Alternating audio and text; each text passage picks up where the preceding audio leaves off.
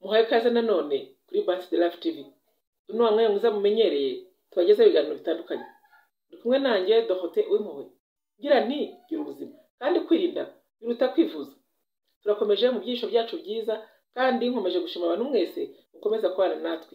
Abantu muduha like abantu mukora comments abantu eh, mukora subscribe abantu mubasha gukora share kugira ngo n'ibyigisho bigere ku bantu benshi ni ukuri n'inkunga ikomeye muba muduhaye. Turakomeje mu cyigisho cy'uyu munsi cyiza turarebera hamwe ibintu bitandatu bituma abantu bakwanga byihuse. Ubana n'umuntu eh, mu buzima busanzwe ukabona abantu bagenda bagutakariza icyizere buhoro buhoro ugasanga abantu bakuvuyeho usigaye nk'aho uri wenyine. Ibi rero tugiye kubireba kugira ngo umuntu wese muri ba bandi twatangiranye gahunda y'imyaka itanu yo gukorana umurava tugatera imbere hari utuntu dutoya cyangwa se ibintu bito bitoya bintu wakora bigatuma abantu bakakugejeje kure barushaho guhunga bakakwanga bakagutera icyizere kuko nta gaciro baba babona yuko ukwiye. Ubwo rero nagira ngo ibi bintu bihinduke bihinduke rwose. Turifashisha igitangazamakuru cya optimist mind.com icya kabiri cya business insider.com icya gatatu ni icya bbc.com turifashisha dr eh, travis bradbury eh, ni perezida wa talent smart.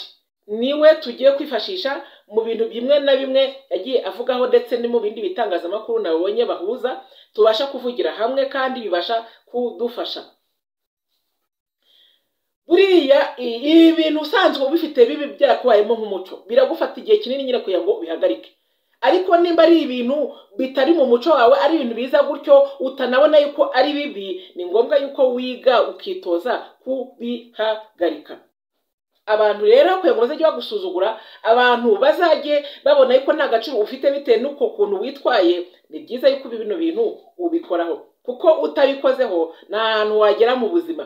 Ntabwo izo gahunda wihaye zo kugera kure zo kugutera imbere ntabwo wazigeraho ukimeze gutya. Ikintu cya mbere ni ukutabika ibanga. Umuntu utabika ibanga yaba ari ibanga ry'akazi cyangwa se n'ibanga ryo mu buzima busanzwe uwo muntu atakarizwa icyizere kandi nta n'umuntu wifuza kugumana nawe ibaza umuntu ni inshuti yawe aguhaye amabanga ye y'akazi. Urangije ugiye kuyacuruza hirya no hino. Noneho ibyo yakoraga na byo bakabimushishura bakabikoraho. Kandi ubizi neza yuko ari wo akura umugati. Uwo muntu ntabwo mwarambana. Kandi nawe ufite iyo mpano imeze gutyo. Ndabizi neza yuko ubikomeje nawe ugatangira wenda nka bizinesi ni ahantu wagera. Kuko n'ubundi wamenyereye kuvuga ibintu by'abandi ni byo ntabwo abisiga. Niyo mpamvu rero yanjye kwirinda biruta kwivuza. Ikintu cya kabiri ni ukwirata. Kwirata ibyo utunze. Ukajya uhora ugaragariza abantu imitungo ufite. Kugaragariza ibintu utunze. Ibintu uzi gukora. Ibyo byose bituma abantu babona ko uri umwirasi. Noneho bigatuma bakuvaho. Nimba uhuye n'umuntu mukaganira ibintu atanakubajije uti mfite amazu aya n'aha mfite amamodoka ya n'aya mfite mfite mfite umukunzi uyu n'uyu. Ibyo byose ni ibintu bituma igihe kimwe kizagera ibyo byose urimo kuvuga bikazatuma abantu wabibwiye batari ingenzi cyangwa batari ngombwa bakagushyira hasi. Bakakurimbura rwose ugasanga ibyo wiratanaga byose bihise bihinduka nk'ibishishwa by'ingurube. Kwirinda rero biruta kwivuza. Ntabwo ari byiza kwirata ibyo ukora kwirata. Ibyo utunze by'umwihariko umutungo buriya akenshi iyo uwuratira abantu bawugirira ishyari. Niyo mpamvu rero bagomba kugushyira hasi kugira ngo utajya ukomeza kubirataho. Icya gatatu cyo kiranakomeye cyane. Icya gatatu ni gukerererwa. Hari abantu bagira impano yo gukerererwa. Ugasanga nta gahunda mwahana ngo ayikore neza.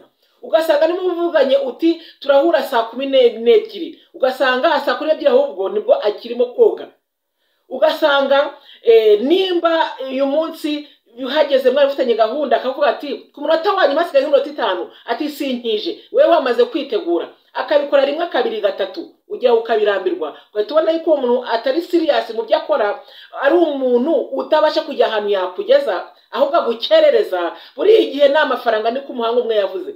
Umuntu rero ukwiciye gahunda buriya aba yishe ibintu byinshi. Ni uko buriya mu buzima busanzwe hari igihe umuntu akwicira gahunda noneho wowe ugashaka ikindi kintu wakora ariko uba ukoze ibintu bitari kuri gahunda n'ubundi. Ni hahandi umuntu wica gahunda ni umuntu utagirirwa icyizere kandi umuntu udafite igikundiro. Buriya iyo uri umuntu utica gahunda abantu baragukunda. Niba rero ufite iyo mpano yo kwica gahunda wica gahunda yawe cyangwa se ukica na gahunda y'abandi ukaba wakererewe buri munsi. Ni ukuri nkubwije ukuri rwose. Dore turi kumwe ndi kubikubwira.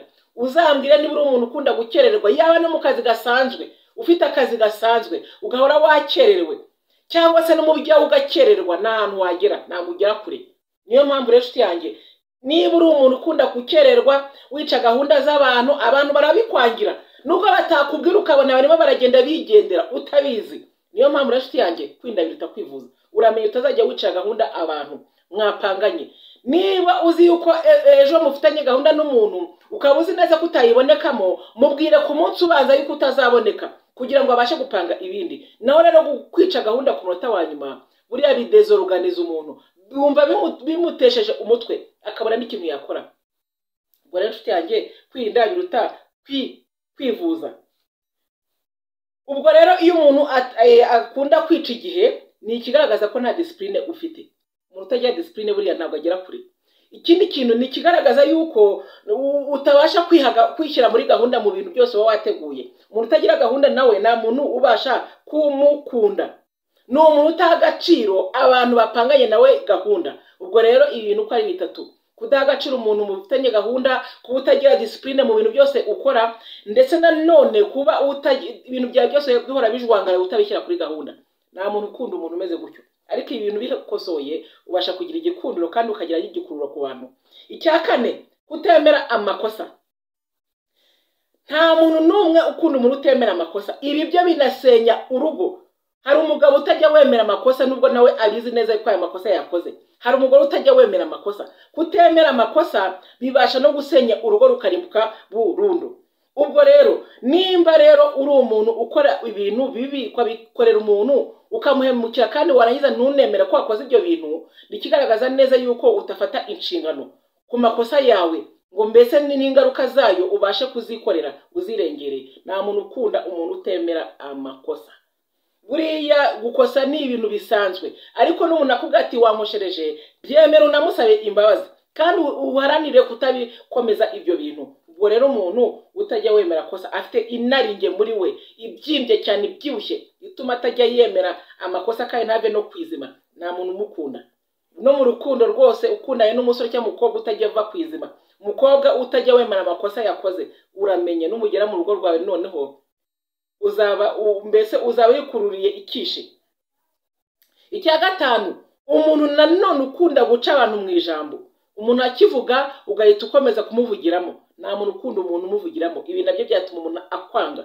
Abona yuko utiyubaha nta gaciro wihaye nawe ubwawe. Ni ngombwa yuko umuntu ubasha guca abantu mu ijambo nta nubwo aba afite impano yo gutega amatwi. Niba utazi gutega amatwi rero buriya buriya hari n'ibintu byinshi bibasha kugucika kubera ko utazi gutega amatwi.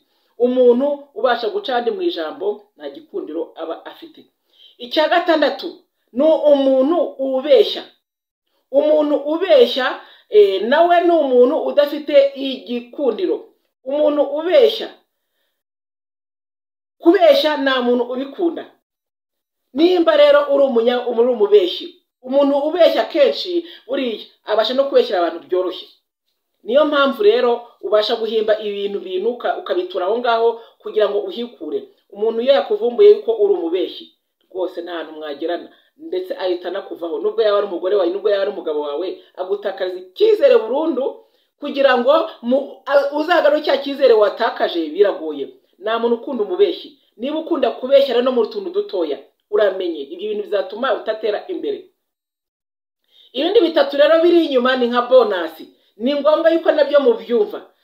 Ikintu cya karindwi ni umuntu uhora yijujuta. Umuntu ibintu byose abibonamo ikintu kibi akijujuta. Abantu bamukerereje ukijujuta. Abantu bakwimye ikintu iki n'iki ukijujuta.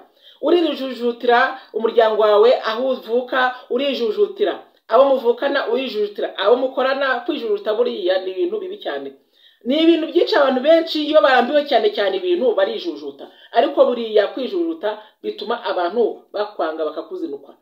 Ikindi kintu cya munani icya munani nanone ni ukuvuga abandi umuntu ukunda kuvuga abandi nta gikundiro aba afite.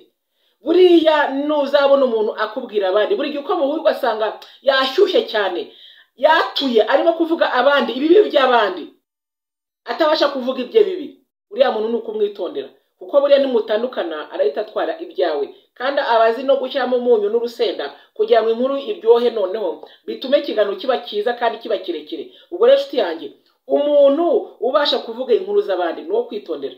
Niba rero uvuga inkuru z'abandi nta muntu uzagukunda. Icya nyuma umuntu utagira isuku.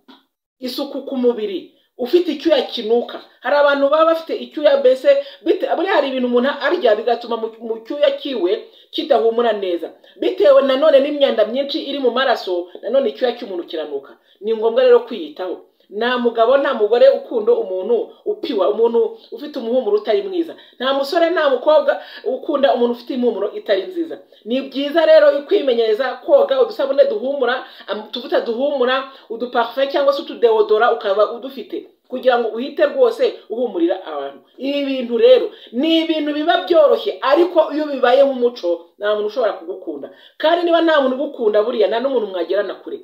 Tubereyeho abandi n'abandi babatubereyeho niyo mpamvu rero kugira ngo tugire ubuzima bwiza kandi mu mishinga yacu tuyikore neza dukorane umurava dutere imbere ni ngombwa yuko bino bintu tubiha agaciro. Tukabasha kubikosora kugira ngo turusheho kugenda kandi tugere kure. Nituba dufite igikundiro ibintu tutabikora bizatuma abantu b'umumaro badukunda noneho badufashe kugera aho twifuza. Ariko dushobora kwirukana abantu b'umumaro ugasanga twikuririye ibibazo twibyariye amata nk'imikoni cyangwa se amazi nk'ibisusa. Ese hari ikindi kintu ushobora kumbwira? Umuntu yabasha gukora atazi yuko ari na kibi wenda abikora ari uko nguko nyine abona ari ibintu bisanzwe kandi ari ibibazo. Muri sosiyete abantu bakuzengurutse bakaba bakwanga vuba. Nyarukira muri komenti niba umushya kuri iyi cano kora like kora subscribe cyangwa se abone kandi ukomeze gukora share kugira ngo turusheho gusangira bino byiza. Igihe giciro kwa namwe kuko nanjye dohote w'impuhwe naho ubutaha. ndiriddewo ikurikira ciao ciao